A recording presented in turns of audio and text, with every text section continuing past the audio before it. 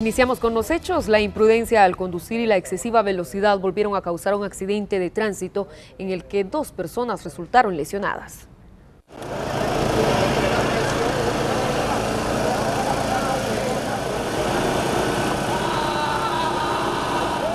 Nuevamente las carreteras de nuestro país vuelven a ser testigas de accidentes por culpa de la velocidad y la imprudencia.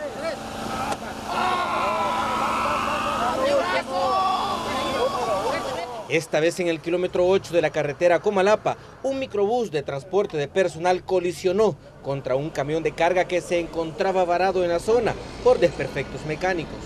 El camión pues eh, ha tenido desperfectos mecánicos, eh, el cual está en el, en del carril derecho y lastimosamente pues al parecer no hay ningún tipo de señal, eh, algún cono, algún triángulo como resultado de este accidente, un hombre de 33 años identificado como Edwin Colato quedó atrapado en el microbús y gracias a los esfuerzos de los cuerpos de socorro pudo ser liberado. Esta persona con lesiones en miembros inferiores, el cual tuvo que ser necesario el equipo hidráulico de rescate para poder ser liberada de las estructuras del, del microbús donde él se conducía. El rescate duró varios minutos y tuvo que utilizarse todas las herramientas posibles para poder auxiliar a Colato.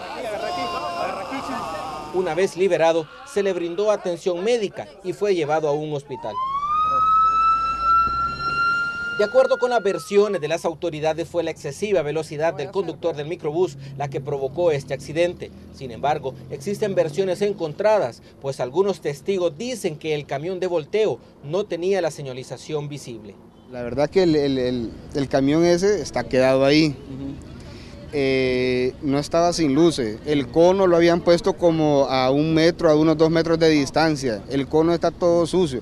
Entonces eh, él venía manejando, él venía solo porque él iba con rumbo a trabajar.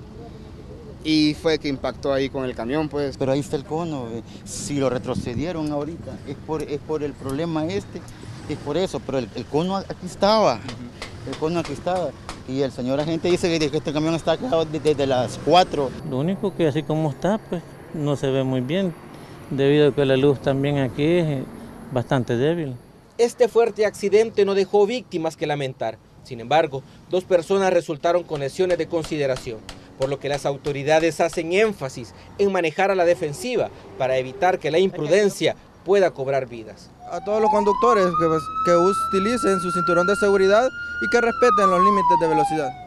Con imágenes de José Delgado, este es un reporte de Víctor Menjiva. Un motociclista resultó lesionado tras impactar contra un vehículo que intentaba hacer un viraje sobre la prolongación de la Alameda Juan Pablo II. El joven fue trasladado a un centro asistencial, pero algunos testigos expresan que el exceso de velocidad del motociclista fue lo que ocasionó el percance.